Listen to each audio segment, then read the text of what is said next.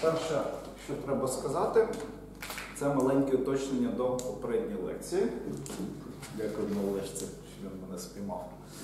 На, я не знаю, як це назвати. Назвемо це лажею. Так? Нагадаю, у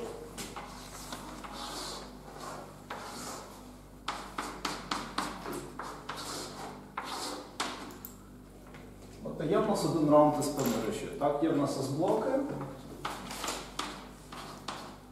Є в нас лінійне перетворення. Тут була різниця омега 0, тут є різниця омега 1. Так ось, L в нас лінійне перетворення, ну, будемо казати, що відносно ксора, так? Тобто, якщо в нас є два вхідних тексти x0 та x04 із різницею омега 0, то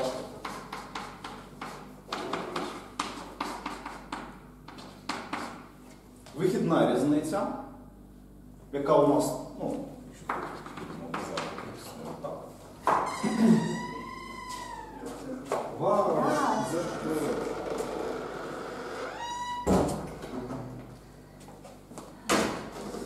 Так, ну, через те, що L є лінійним перетворенням, то це буде просто L від x0 плюс x0 штрих.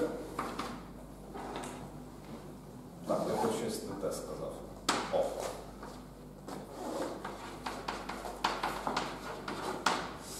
Так, це буде L від 0 штриха. Так? І це, власне, дорівнює омега 1 згідно цих позначень.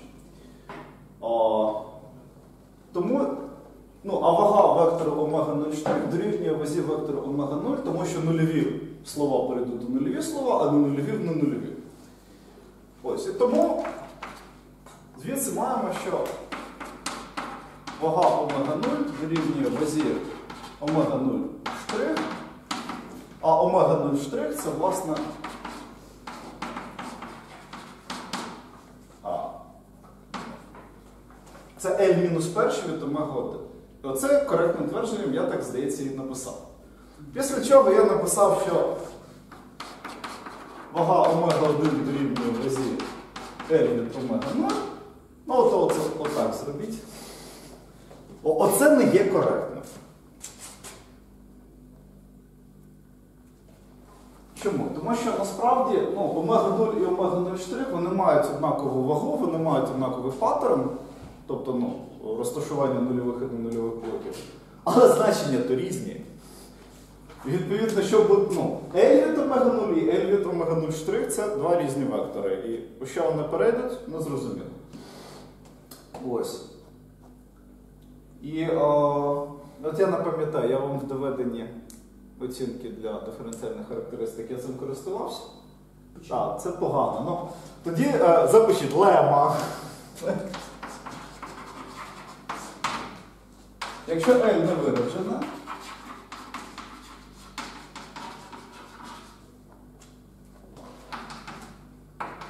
то індекс розгалуження буде дорівнювати. Ну, давайте так.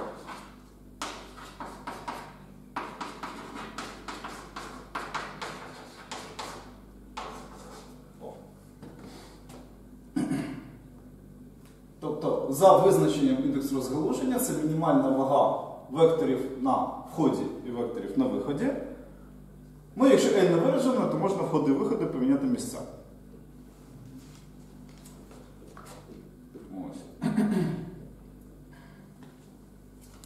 Чому? В нашому випадку не виражене означає, що у нас є обернене перетворення.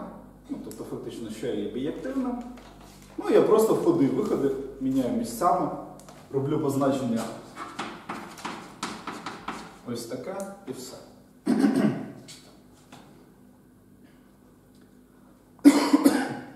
Ну і відповідно, коли в нас була оцінка для ймовірності диференціальної характеристики,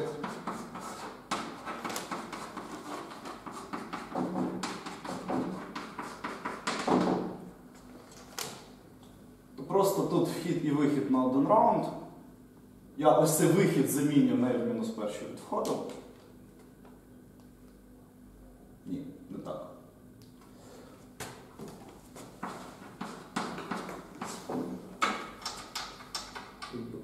омега 0 плюс вага омега 1. Це буде вага L мінус перший від омега 1 плюс вага від омега 1. Тобто кількість активних байт тут і тут однакова. Ось, це вага омега 0, так? Ну а на виході буде вага омега 1. Ну і відповідно ось це буде більше або дорівнює так. І насправді от у цьому моєму конспекті так, так і написано. А то мене щось перемкнуло, я вирішив, щоб ну, не акцентуватись на цьому, щоб зекономити собі 4 хвилини часу. Ну, зекономив. Ось, вийшло якось не так. Ням? Так, а, добре, з цим. А, ой-ой-ой. Воно дуже мокре. Так, ну, наразі я це потираю.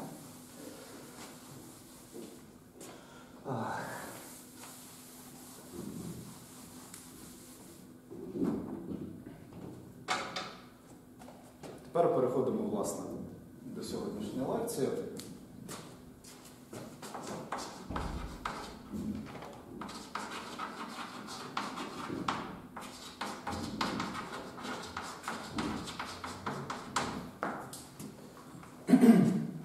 Я точно знаю, що поки воно не висохне, то писати на ньому не треба. Так, тому буду поки що писати ось тут. Значить, Сьогодні розглядаємо каскадні СП-мережі.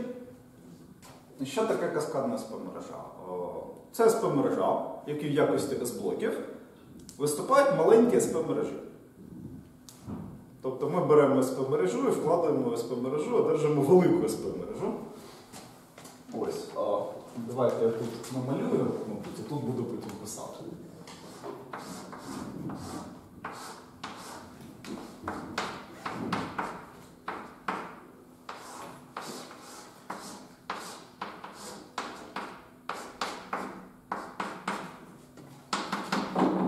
Тобто у нас є ось такі конструкції. Так? Це маленькі СП-мережі.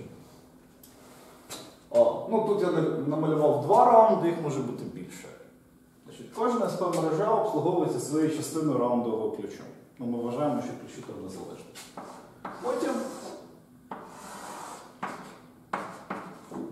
йде велике лінійне перемішування цих частин між собою. Ну і потім знову.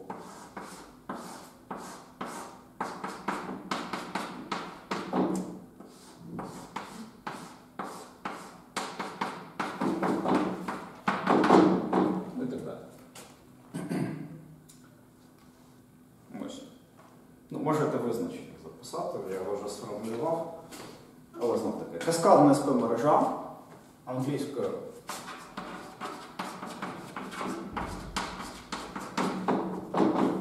Nested SP Network. Це узагальнена СП-мережа.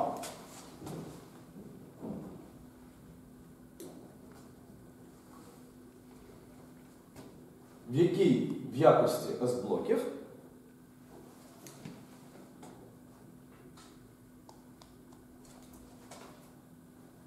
виступають СП мережі меншої розмірності.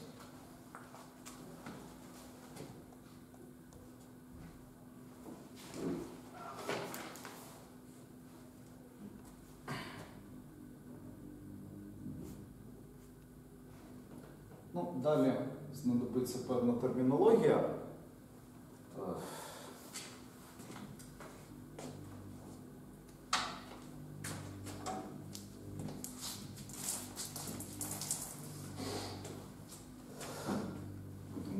думати про майбутнє. Е, Так, що нам знадобиться? Е, Ми називали словом ну, одну координату вектора, так, що підпадає на один із блоків. Ну, відповідно, ось таку величину будемо називати або блоком, або довгим словом. Як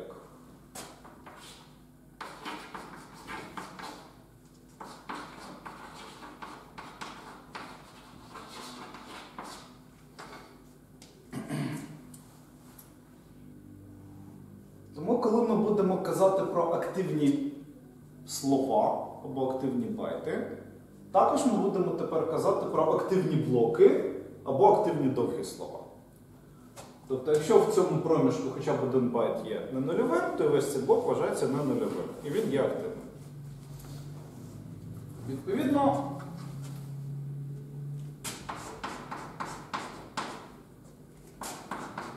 ось так. Ну, з великої літери будемо позначати кількість активних блоків у векторі.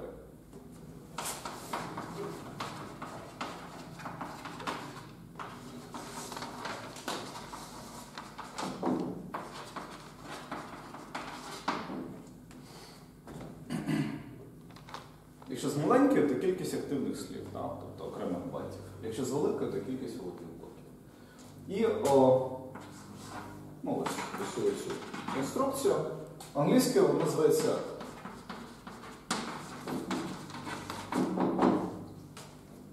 Super Box, ну це не те супер, що в супермені. Так, це просто.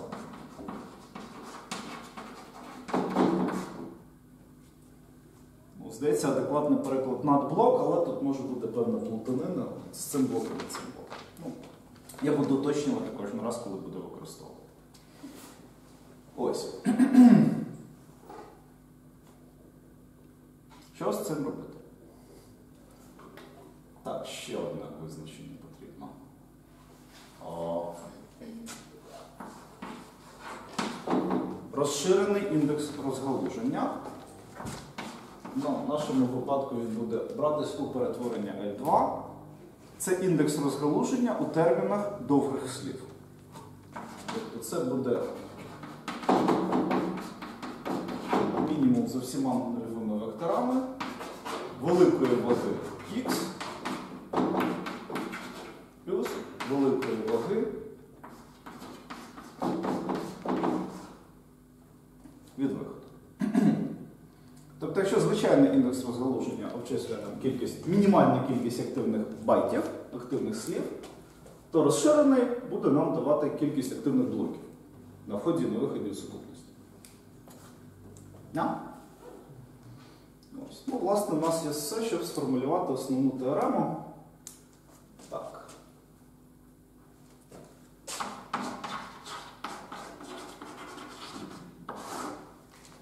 Цю теорему назвемо узагальненою теоремою чотирьох японців.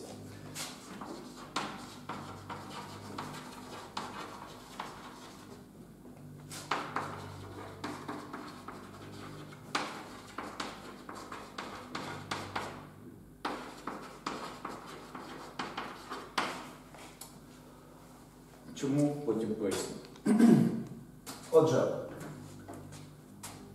якщо у вас є каскадна СП-мережа, що складається щонайменше з двох раундів, і кожен надблок також містить щонайменше два раунди.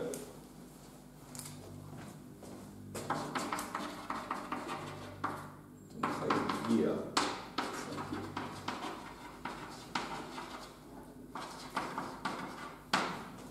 Каскадна СП-мережа.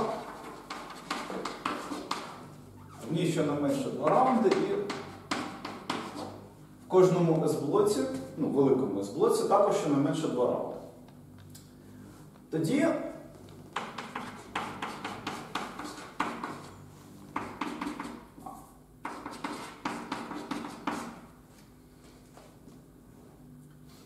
Ймовірність ну, от такого двовеликораундового диференціалу такого шифру обмежується зверху величиною.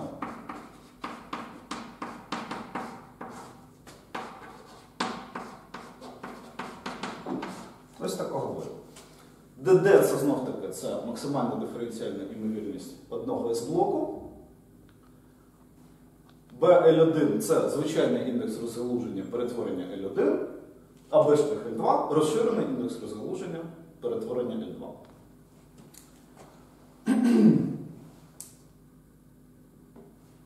Ну і знов таки, я про це казав в минулій лекції, ми розглядаємо лише шифри, в яких лінійні перетворення лінійні відносно ксо. Інших випадків ми не розглядаємо, бо там починаються суворі спецефекти. Так. О. Щось, мабуть, треба витримати. насправді ця теорема доводиться в два рядки.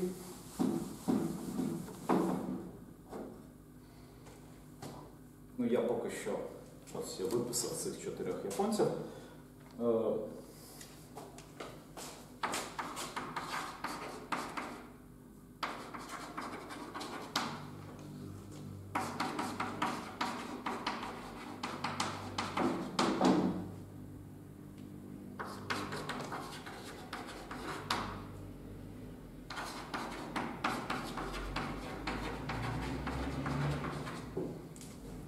Значить, е, Три з чотирьох цих людей е, були в групі розробників шифру Єрокрипт.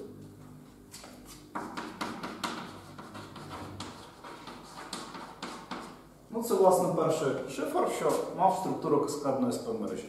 І, власне, вони цей термін і вигадали.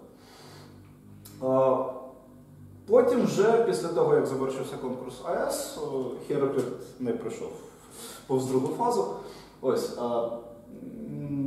за рахунок теореми парка і результатів, які там були одержані, е, ці чотири людини сформулювали результат для каскадних СП мереж, а потім для шифру АЕС. Ми це розглянемо трошки пізніше. Але знов таки, е, ну, парк е, і його колеги, там вже третя корейська стаття з цього приводу, вони вивели оцінку для е, диференціальних ймовірностей шифру АЕС, але дуже складним шляхом.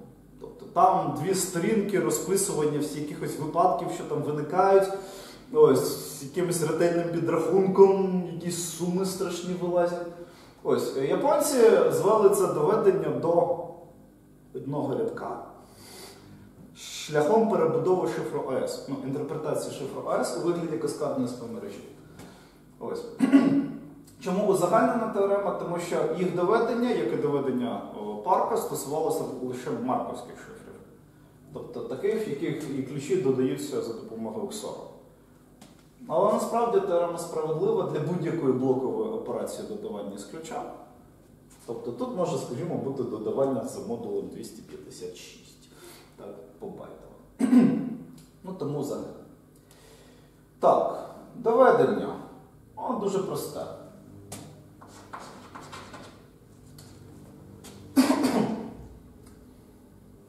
Ну, оце можна розглядати як звичайну СП-мережу, в якій словом є один блок. Так? Тому за теоремою S.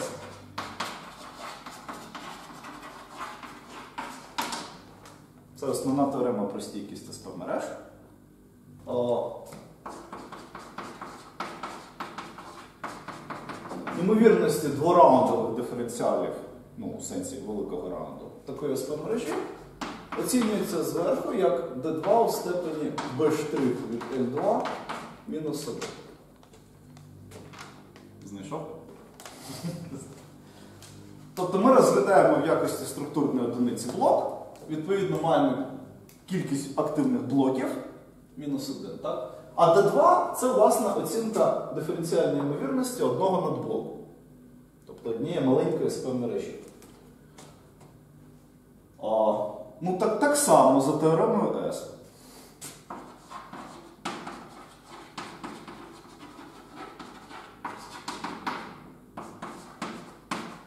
У нас оце D2 оцінюється зверху. Як максимальна диференціальна ймовірність одного маленького S-блоку у степені B L1 мінус 1. Тобто ми розглядаємо вже окремо цю, цю SP-мережу і оцінюємо ймовірності диференціалів такої SP-мережі знову за теоремою S. Ну і все. Теорема доведена.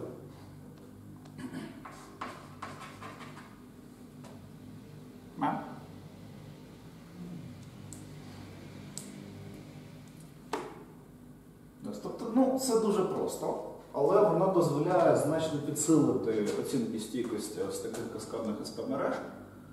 Бо якщо просто застосовувати теорему S, ну ви ось так. так. Тобто ось, ось цей, ця степінь вона зникне. А, і це ну, погані оцінки. Ми, ми бачили, що якщо застосовувати до шифру АЕС безпосередньо теорему АЕС, то там виходить дуже погана оцінка. Ось. А тут за рахунок того, що ми знаємо, яка структура нашого шифру, ми можемо цю оцінку підсилити. Ну, наприклад, от я собі виписав так.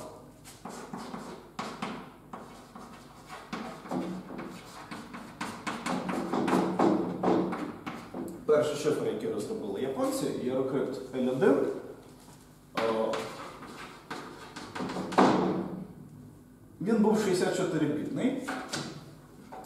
І надблоки там були 32-бітні.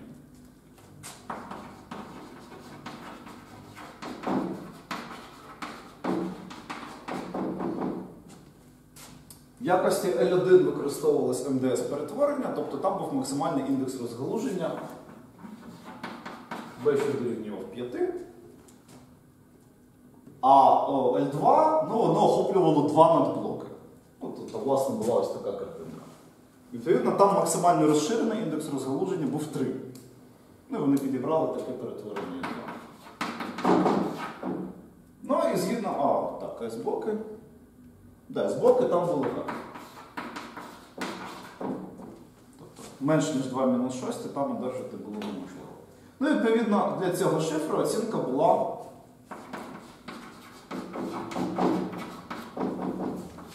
Два в мінус 6 на 4 та на 2.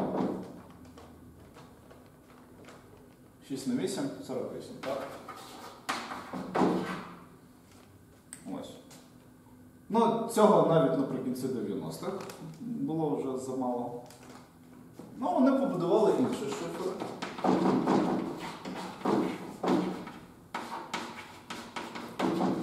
Подали його на конкурс Месі.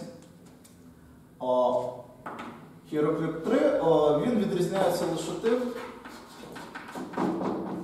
що там блок був вдвічі більше. Ну і тут було не 2 надблоки, а 4. Тобто вони змінили е, перетворення L2, а все інше залишили таке, як було. Ось. Ну і відповідно, там і B, і B4 5. С-блоки такі самі, і оцінка для МДП. Ну, відповідно, 2 мінус 6, 4 на 4. Ну, це просто це квадрат 15. О, 2 мінус 96. Тобто ця конструкція ну, вже теоретично стіка до диференціального криптоаналізу. Якщо у вас вже за два раунди ймовірність не перевищує 2 мінус 96, то у вас не вистачить ресурсів проводити диференціальний криптоаналіз. На. Так, а, занотуйте, будь ласка, останнє речення з цього приводу. О, оцінки, які надає теорема чотирьох японців, можна підсилювати.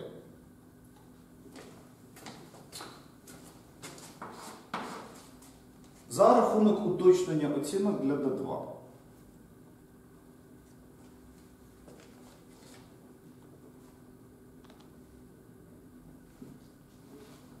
Ну, скажімо, тут ми просто користувалися загальною теоремою S. Якщо шифр є марковським, то тут можна замість теореми S використати теорему парка, що дає більш.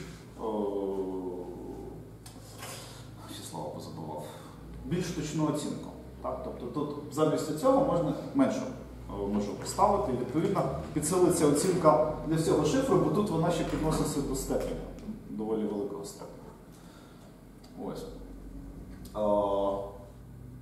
Використовувати теорему парка в цьому місці буде дуже складно, тому що там потрібно знати розподіл імовірностей S-блоків. Якщо S-блок маленький, тут його можна обчислити безпосередньо. Тут буде S-блок розміром 32 на 32, і одержати тут точні оцінки, ну, точні розподіли буде вже складно. Ось. Тому в цьому місці не використовується, але в цьому можна. І, скажімо, для того ж АЕС, для того ж аерокрипту, корейці підрахували і вони підсилували там щось на 10 порядків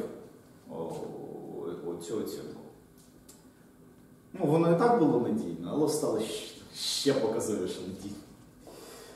Да? Так, ну тоді тут, мабуть, треба зробити семантичну паузу і потім вже АЕС добити фінальним куском. Добре, перерва.